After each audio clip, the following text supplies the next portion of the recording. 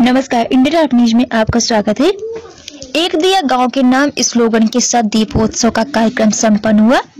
खबर, उत्तर प्रदेश बलिया के सिकंदरपुर तहसील क्षेत्र के अंतर्गत ग्राम सभा, पूर्व में स्वच्छता, स्वास्थ्य, समृद्धि एवं विकास की कामना के साथ एक दिया गाँव के नाम स्लोगन के साथ दीपोत्सव का कार्यक्रम संपन्न हुआ।